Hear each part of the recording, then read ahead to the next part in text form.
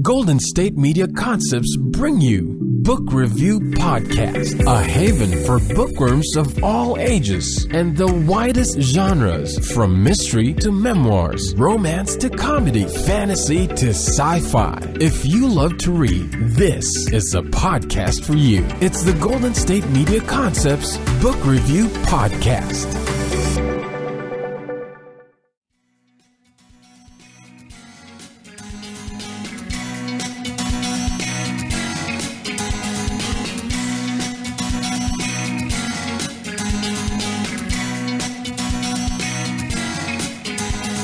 Welcome to the Golden State Media Concepts Book Review Podcast. I am your host, Sarah, and I am excited to be joining you again today to talk about one of my favorite subjects, which is, of course, books.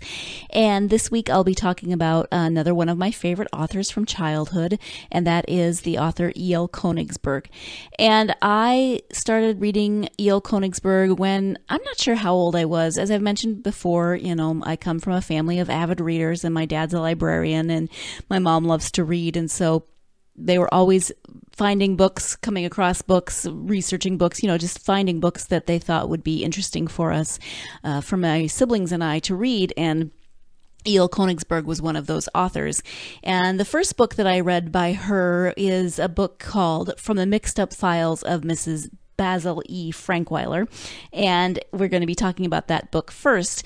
But it actually came up recently because someone uh, posted on Facebook a link to an article with the Metropolitan Museum of Art in New York. And if you've read this particular book, you know that that is where it takes place.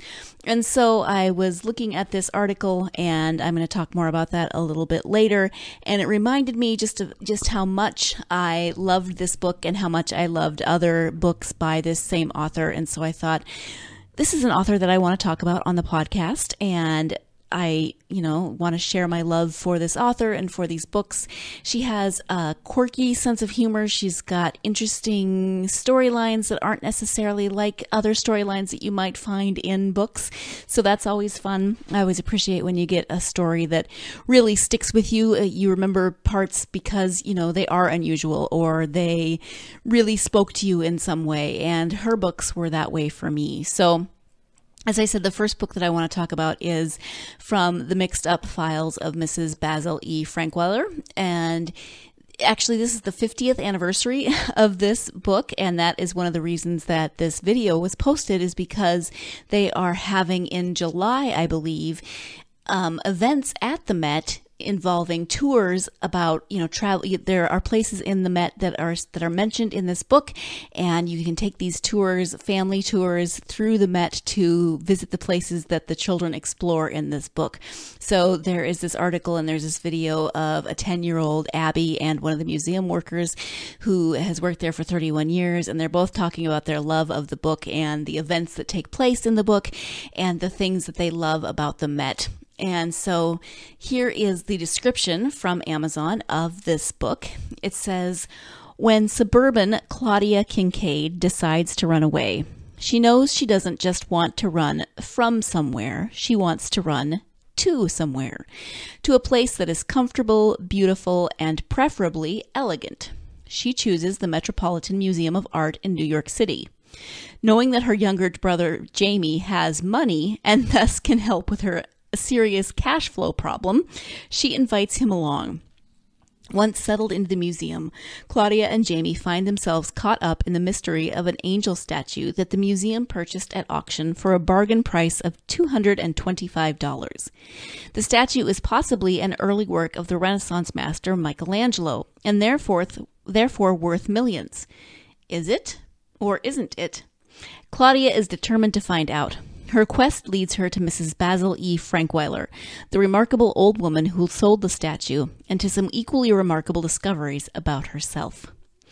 So here you have it. It's a it's a mystery. It starts out as two children who are running away, and uh, you know, as a kid, that seemed really exciting to me. And they run away and they go and they live in this museum. You know, they they hide out in the bathrooms and they figure out all the ways to get around security, which is probably a little bit easier in 1967 without all the digital security we have now. But they figure out this whole routine for how they're going to live in the museum and where they're going to find food and how they're going to use their money. And they sleep in this, you know, amazing antique old bed and they, they hide their, their stuff in certain parts of the museum. And it just seemed like this really exciting adventure. Although I was, um, really scared of the dark as a kid. So I can't imagine being alone in a giant museum. I think that would have scared me a lot. But that's what I loved about this story was this adventure, right? Kids who are kind of my age who are in New York. They've run away to this amazing museum and they're having this amazing adventure, which leads to them trying to solve a mystery. And this book is, it's, it's le- listed as for age level 8 to 12 for grade level 3 through 7 so kind of a, a good variety of ages there for your kids. Uh, you, of co- you of course know your kids best and know what reading level they're at or if you read as a family you'll know what level of comprehension and level of uh, story that they enjoy hearing or reading on their own. And as i said this starts out as kind of an adventure and then moves into a mystery. Now that i am older and I think about my nieces and other important children in my life and I think I think of it from the parental standpoint and I think, "Oh my gosh, these two children just ran away to New York City. Their parents must be flipping out." So it's I, I read it uh, recently again as an adult and I, I read it from a slightly different perspective as I was thinking about their parents and oh my goodness, that's just horrible, right? I read somewhere that E.L. Konigsburg wrote, well, she wrote this story thinking about her own children and that if they were to ever run away, they would have to run away to someplace, that they wouldn't want to run away and, you know, rough it. They wouldn't want to be those kids who took their backpack and went out into the woods. No, they would need to run away somewhere where they could live in the uh, style that they were accustomed to. And so that's how this book started, that she doesn't, that Claudia doesn't want to run away from somewhere. She wants to run to somewhere. And she decides that this elegant, beautiful place that she's visited is the perfect place for her to run away to. And I actually went to the Met a few years ago. Oh, more than a few years ago now. It's been about 10 years ago now. And it was amazing but it was also Thanksgiving weekend, and I am not a big fan of crowds, and there were so many people in there. So I didn't spend much time in the Met. I was very disappointed in that. I just couldn't quite deal with all of the people that were in there on the day that we went. And it was just a timing issue. I would love to go back. I would really love to go back. And if I were able to go in July, I think it would be a lot of fun to go and do some of those tours that they're having.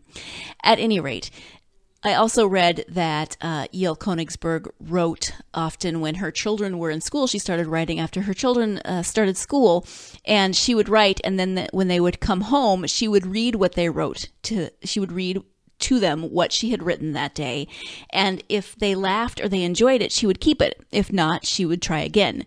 So I love that this you know that this is really personal that she was writing uh, for her children and she in this case was kind of writing about her children a little bit in in terms of her inspiration for this story. And as i said i love the adventure of this story. I love the mystery of this story. It's fun to watch the children as they move through this adventure into more of a journey of self-discovery.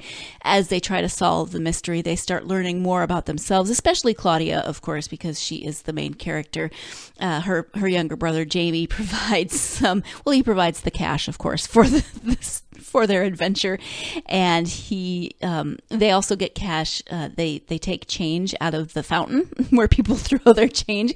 They also bathe in the fountain, which is hilarious. That they are in the in the Metropolitan Museum of Art, this place of just amazing works of art, and there are these two children who are bathing in the fountain at night when nobody else is around, and they're sleeping in this amazing antique bed, four poster bed, and all of these things. And one of the fun parts about that video was that 10 year old Abby, who's in the video, goes around with the woman who works in the museum and they find places that are mentioned in the books uh, whether it's an actual specific place or if it's something very similar to what's mentioned in the book.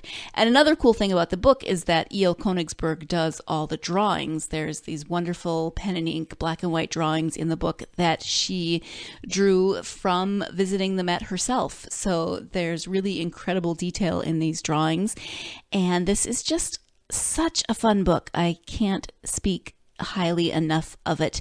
I do have to take our first break, but when we come back, I'll be talking more about E.L. Konigsburg, so stay tuned and I will be right back.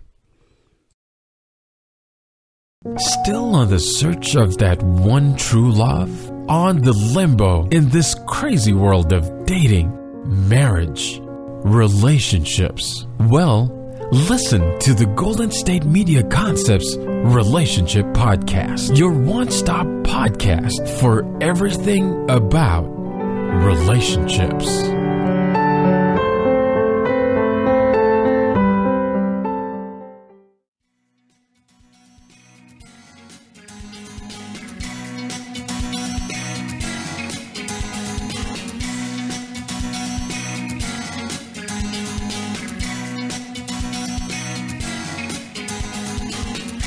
Welcome back to the Golden State Media Concepts Book Review Podcast. This week I am talking about author E.L. Konigsburg. Specifically, uh, before the break, I was talking about her book from the mixed up files of Mrs. Basil E. Frankweiler. It is the 50th anniversary of this classic, and as such, you know, it was written in 1967, so there are definitely some different things about this book. Even when I read it as a child, and, you know, it was not 50 years old then, but even as a child, first of all, I grew up in rural Montana, so New York seemed about the most exotic place that I could think of as a child. I didn't know you know a lot of you know this huge city. I didn't i couldn't quite even fathom it even though i'd seen it in in movies and on tv but imagining being a kid and and and running away in this giant city. But so even during my childhood i read it in in the 80s sometime. I'm not sure exactly when. So it was about 20 years old at the time wow, that makes me feel old. but um, it even then, you know, there are things they get their food out of um, vending machines, but I think they're called automats. Is that sound right? But it was there were a few things that I didn't fully understand, even even though you know it was um, much closer to when this book had been written, but still times had changed enough. And so, of course, there are, like I said, the, the security would be different now if they were to run away, if they, if there was an updated version of it, you know, they run away, they, uh, there's no cell phones, there's um, when they are doing research, they're doing research. They're reading newspapers. They're doing those sorts of things when they go to visit Mrs. Basil E. Frankweiler and her mixed up files.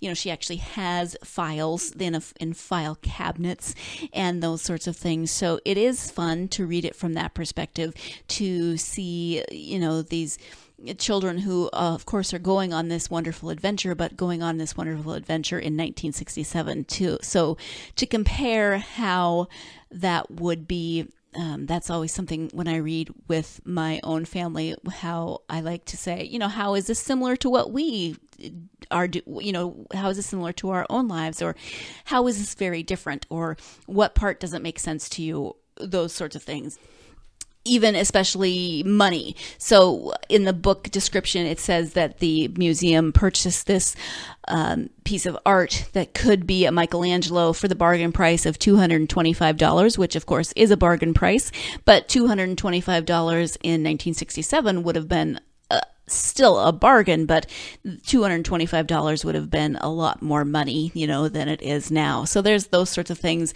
that they get their money again late as i said that they get the coins out of the fountain. So seeing what they can buy with the coins that they get out of the fountain out of the vending machines um, is is fun and it's fun to imagine or to you know just compare them compare those things to the way our lives are now. So i cannot recommend this book enough. I loved this book.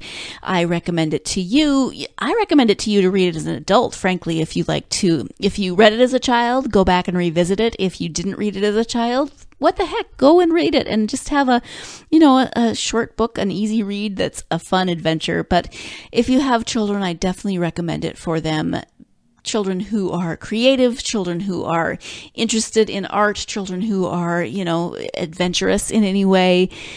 I think they will really love this book, whether they read it on their own or whether you read it as a family. I highly recommend this book. So I do want to move on to another one of E.L. Konigsburg's books, and I'm not sure that this one is as well known. It is called Up from Jericho Tel, and uh, a quick aside, a quick note: we have two chihuahuas in our family, and they are three. They're brother and sister, and they are uh, Chalupa Batman and Tallulah Cooper. My husband named Chalupa after a show called The League. If you watch the show, then I'm sure you know what I am talking about with the name Chalupa Batman. And I named the girl dog uh, Tallulah Cooper, and partly because when we first got them and we hadn't named them yet, I was calling her my little trash compactor because in the first half an hour after we got these dogs, she ate a leaf or she tried to eat a leaf, a rock. You know, she was a puppy, so she was exploring the world with her mouth, and she tried to eat so many different things in that first half an hour that we had them at home. So I was calling her my little trash compactor, and I wanted her initials to be TC after her first her first name, her first nickname of trash compactor. I wouldn't ever call her trash compactor as her real name, and Cooper comes from my niece at the my she was three at the time, and her best friend was Cooper. And so middle name came from Cooper. But Tallulah is uh, Tallulah Bankhead, not necessarily because of the actress, but because of this book, Up from Jericho Tel. And in this book, there are two. Uh, so, so let me just let me just read you the description. Jean Marie and Malcolm meet Tallulah the ghost of a once famous actress, who sends them on a quest to find the Regina Stone, the diamond she wore until it was stolen when she died. But they soon find more than they bargained for. So once again, you have two children, a boy and a girl, and they find themselves on this adventure. This one's a little different because there are elements of um, paranormal, elements of fantasy. Anyway, they, so they meet the ghost of Tallulah Bankhead. And I didn't know who this was. If you don't know who Tallulah Bankhead is, she was an actress in the 20s. So probably not a lot of people know about her now as a child i didn't really know who she was i loved the illustrations again E.L. Konigsburg does the illustrations in this book i loved the drawings of Tallulah Bankhead because you know she's wearing fabulous flapper gear when they meet her and so this book is a little bit weird because they do meet a ghost and they, she does send them on this quest. Instead of a mystery about a uh, statue at a museum they are now trying to find this necklace that was stolen from her in life. And i i read this book. I loved this book as a kid but i didn't remember a lot about it except for the Tallulah bankhead part, which I think is really interesting. So, back to my puppy story when we got our dogs, I named my dog Tallulah because of this book. And so after that, I really wanted to go back and find it and see really what it was about because all I could remember was that these two children somehow end up meeting Tallulah Bankhead which is very, very strange when you think about it. And so, um, this, there's one review, and I love the description of Tallulah. It says Jean Marie and Malcolm are plummeted into the magic underground world of flamboyant, red haired, cigarette puffing Tallulah. Tallulah sets them a series of tasks righting wrongs on Earth, including expo- exposing a phony faith healer by exposing him, in one of the book's funniest scenes and making them invisible in order to perform these tasks. So the tasks lead in fine fairy, fairy tale, excuse me, fashion to the one big task and then to the reward. In this case, realizing their talents and finding the courage to let them emerge. So again, you've got kind of the same elements, right? You've got two children again not brother and sister this time but they're two you know they're two lonely children in the book. And they come together because they are lonely and they do need friends and then they find each other and then they find the ghost of Tallulah Bankhead. Um, they find Tallulah and she sets them on these tasks and whether these tasks are selfish or not you know she's setting them to find her necklace. They actually help the children to discover things about themselves, to uh, cement their friendship, to lead them in ways that will help them to grow as characters, etc. So again, you've got adventure, again you've got a little bit of mystery, again you've got character development as these story as these as their friendship forms, as their relationship grows and as they learn about themselves, learn about each other, learn about what it means to be in relationship as friends, etc. So Again, I loved this book. I would recommend it. The ages are similar to that of uh, the mixed up files. This one's a little bit older. This one says ages 10 through 14 and grade level 5 through 9. So a little bit older than the mixed up files of Mrs. Basil E. Frankweiler. But uh, as your, you know, so as your as your children grow and mature a little bit, then this one might be next up on their reading list. We do have to take our second break of the podcast, but when we come back, we will be wrapping up this episode on author E.L. Konigsburg. So stay tuned, and I will be right back. Tired of searching the vast jungle of podcasts? Now listen close and hear this out. There's a podcast network that covers just about everything that you've been searching. Hey! The Golden State Media Concepts Podcast Network is here. Nothing less than a podcast bliss with endless hours of podcast coverage.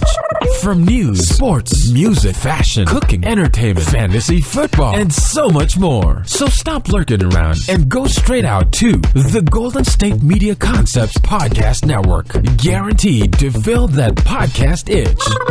Whatever it may be, visit us at www.gsmcpodcast.com. Follow us on Facebook and Twitter and download us on iTunes, SoundCloud, and Google Play. Bye.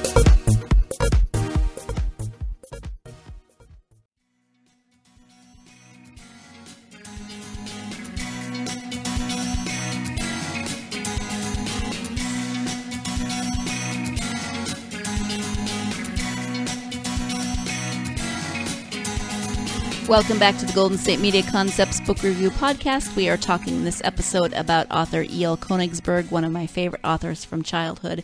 And uh, she did die in 2013, so four years ago. But according to her author page, she is the only author to have won the Newbery Medal and be runner up in the same year.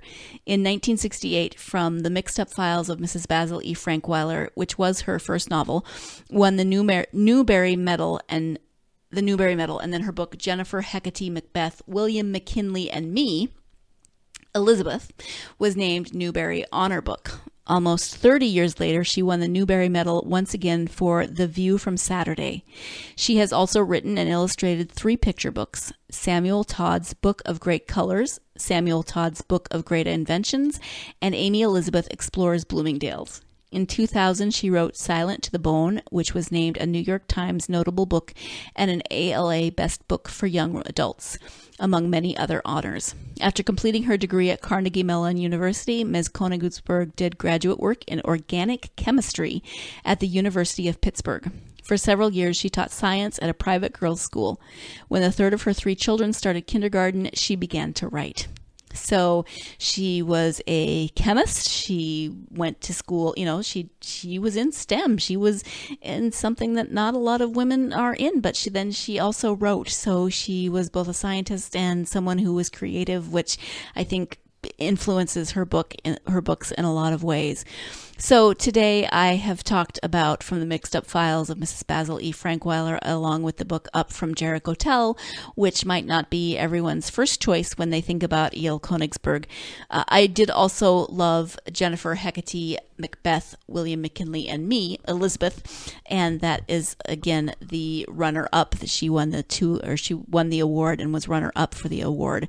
And uh, there's another book that she wrote that I read as a child, A Proud Taste for Scar Scarlet and. Miniver. I'm not sure how you pronounce that word. I remember reading that one as a kid, and this one also has some historical elements to it because it's about Eleanor of Aquitaine. Eleanor of Aquitaine has been waiting in heaven for a long time to be reunited with her second husband, Henry II of England. Finally, the day has come when Henry will be judged for admission, and while Eleanor waits, three people close to her during various times of her life join her, helping to distract her and providing a rich, portrait of remarkable women of a remarkable woman in history.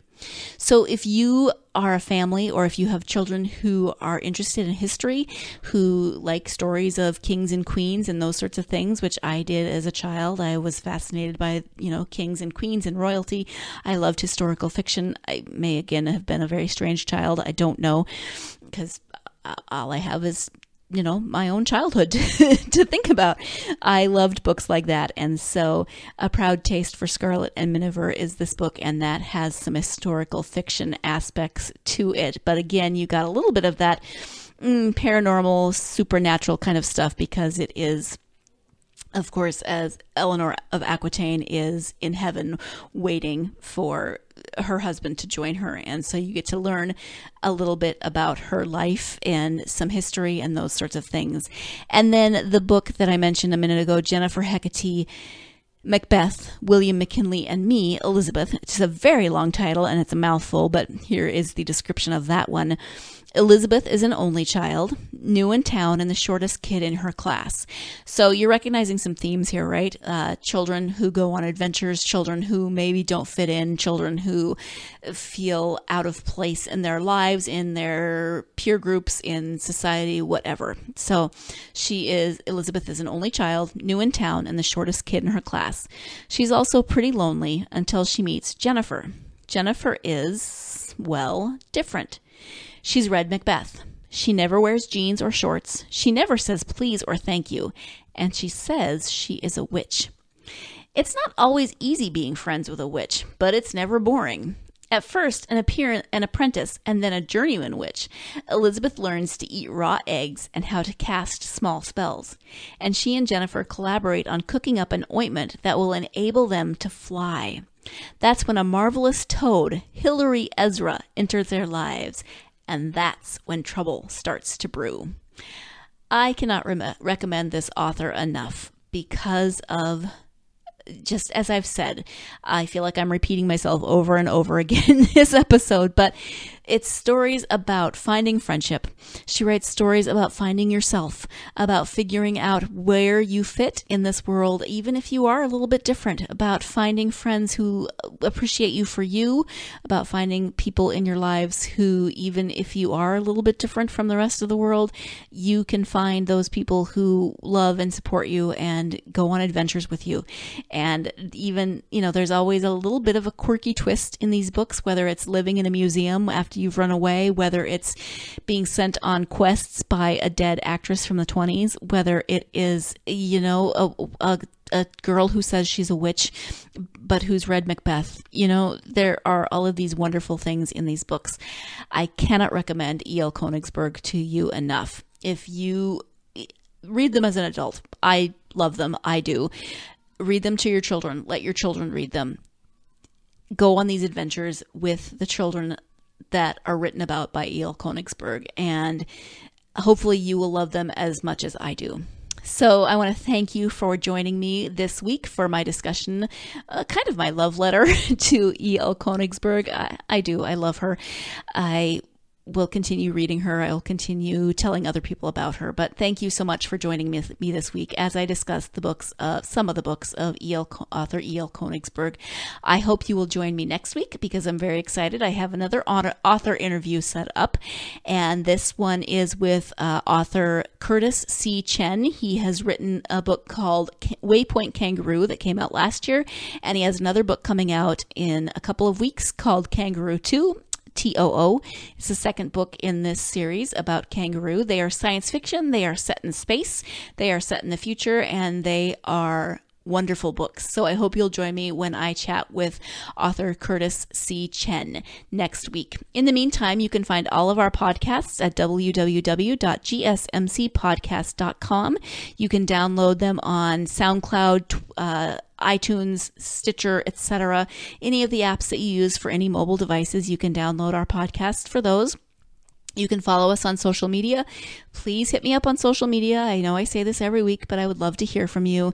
We can be found on Twitter, Facebook, Instagram, Tumblr, all of those lovely places that you may go visit with you know your own social media accounts so please come find me please interact with me leave your comments etc as i said i would love to hear from you in the meantime i hope you have a wonderful week and I hope that you go out and get yourself lost in a good book. Thank you. You've been listening to the Golden State Media Concepts Book Review Podcast, part of the Golden State Media Concepts Podcast Network. You can find this show and others like it at www.gsmcpodcast.com. Download our podcast on iTunes, Stitcher, SoundCloud, and Google Play. Just type in GSMC to find all the shows from the Golden State Media Concepts Podcast Network, from movies to music, from sports to entertainment, and even weird news. You can also follow us on Twitter and on Facebook. Thank you, and we hope you have enjoyed today's program.